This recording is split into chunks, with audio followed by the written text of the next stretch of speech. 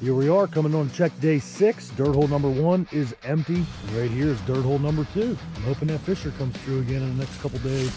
Right here's a dirt hole I put in yesterday. There's a trail leading down through this thicket, trail behind me, and then a path headed down, and then the same thing. It's a four-way intersection. Dirt hole set where we have all the cat tracks, check the camera, and not a living creature came by.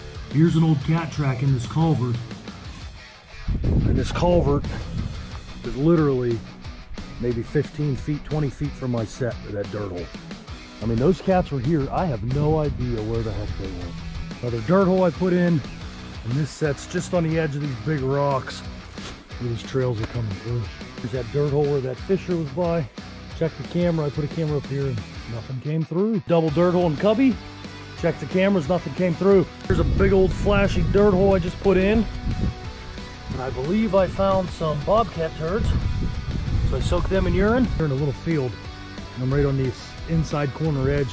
And there's a trail that comes out right here. For our last set, skunked on the day. Stick with me. We're going to catch one. We'll catch you tomorrow for the check.